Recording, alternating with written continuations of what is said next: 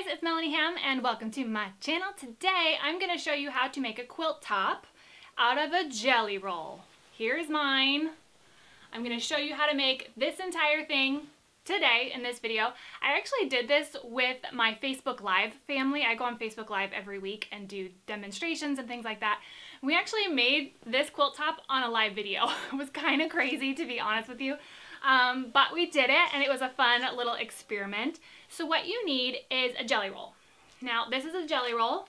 For those of you that don't know what these are, this is a pre-cut of fabric and these are strips of fabric. So they measure two and a half inches wide by the width of fabric. And the materials that you need for this are a jelly roll, coordinating thread, obviously your sewing machine, and if you don't have a rotary cutter and a mat and a ruler, you can get away with it for this one. So um, all the materials will be down below and everything listed out. The uh, link for the printable PDF download instructions will be there as well over my website, melaniekham.com. But for now, let's jump right into the tutorial. I'm going to teach you how to make this quilt. All right, guys, so here's the trick with piecing these long strips. Okay, so here is my jelly roll so far. The green strip at the top is going to be the top piece. And here's my jelly roll. This is a line from Amy Butler a while back. I'm not sure you can find it. It's the Hapi Collection. I'm just going to kind of grab stuff. It doesn't need to be in any particular order when you're using a really bold and fun print like this. And I'm going to take my new strip and I'm going to place it right sides together using a quarter inch seam allowance. Okay, and when you're using a quarter inch seam allowance with this pinked edge, which is that zigzag cut edge, use the seam allowance starting from the edge of the zigzag. Okay, so the outside piece, not the inside part of that zigzag. There's no need to do that. So you're going to use a quarter inch seam allowance.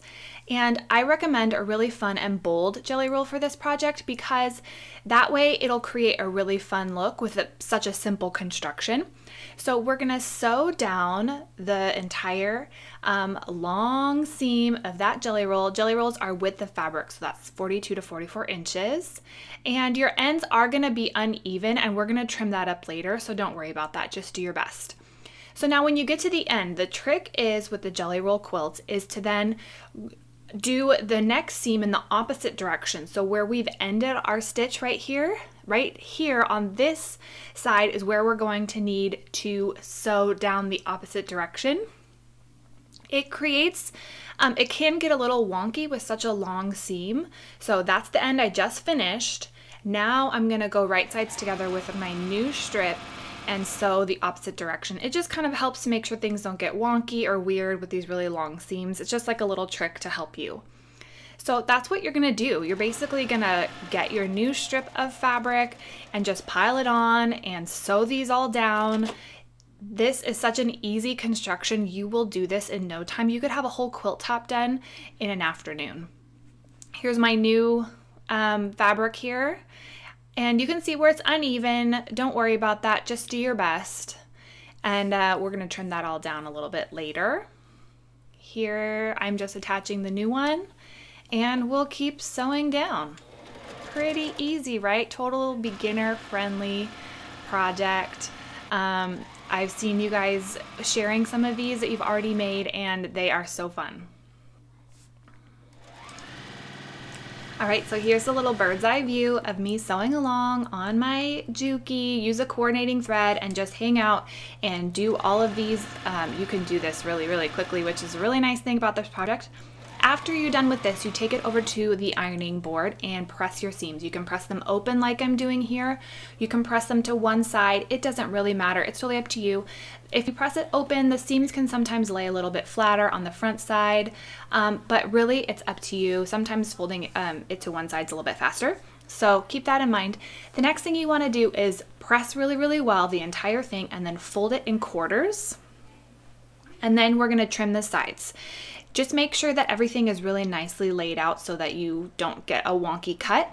But if you're having trouble with this step, we will be squaring up the quilt. Like later in the quilting process, you square it up after you quilt it. So don't worry if it's not absolutely perfect. And um, yeah, that's it. Your quilt will measure about 41 by 62 depending on the manufacturer of your jelly roll. And you can see here why it's so important to have a nice fun, bold print that's gonna create such a special result, beginner friendly project. So I hope that you guys enjoyed this quilting tutorial. All right, guys, that was it. What did you think of this project? I would love to hear your feedback down below in the comments. If you love quilting and you're just getting into quilting and would love some more tips and tricks, I invite you to go check out my free mini course called Five Days to Better Quilting. You can go to five, the number five, daysquilting.com and sign up there for that mini course. It is got tons and tons of tips and tricks all quilting related, so it's a really, really great resource. All right, so that's it for today. You can click right here to subscribe to this channel, help me get to 300,000. Thank you so much for your help. And right here, you can click for my last video, and right here, you can click for my last quilting video.